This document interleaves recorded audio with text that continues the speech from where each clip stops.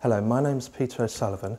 I'm a medical physicist here at the Royal Berkshire Hospital and I'm going to show you the radioactive iodine room. The patient is, comes into the room and is administered with the radioactive iodine and for that reason they have to stay here between two and four days. Because of that they have their own facilities such as a bathroom and shower and also they have their own entertainment such as a television, DVD, phone and patient line system. Now I'm going to show you how the patient is sealed in the room. The protective door outside closes. When administering iodine 131 therapy, we require that the patient has to be locked away in a special room for several days. This is because they are highly radioactive and this would be hazardous to the people around them. The treatment is used for two separate conditions, carcinoma of the thyroid and thyrotoxicosis. For thyrotoxicosis, the patient is administered a much lower dose, and while they still have restrictions regarding close contact with people, they're not required to remain in hospital.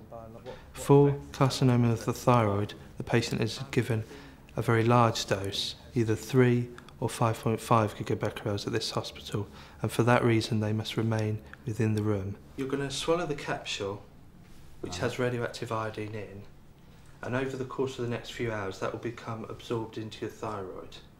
Now the aim of that is to ablate or completely remove any of the residual thyroid tissue you have there. How much of that is actually going to going to go to my thyroid? What's left of my thyroid? Only a very small percentage will actually be absorbed into your thyroid. The rest of it will come out, uh, be excreted from your body in the urine. If you could drink extra fluids, uh-huh. that will encourage that process. Iodine 131 has two types of radiation, beta and gamma. The beta radiation destroys the cells in the thyroid and the gamma radiation is used for imaging at the end of the treatment.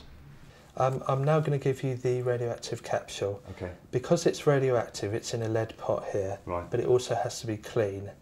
So what we do is we have a clean applicator here, okay. which I'm going to screw in the top. And if you could take the top off and actually lift this up and put this to your lips. If you just have a sip of water now. Yeah, okay. Okay, do you think you swallowed that okay? Yeah, definitely, yeah.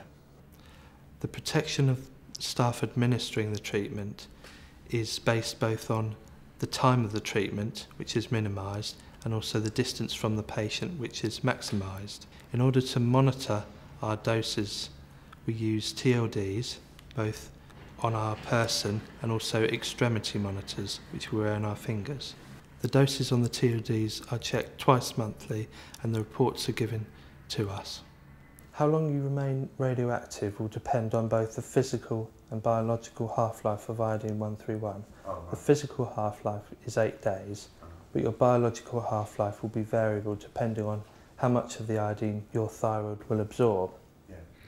The dose readings are taken using a dose rate meter, which is a Geiger-Müller tube. We take readings close to the neck of the patient and also a distant reading across the room.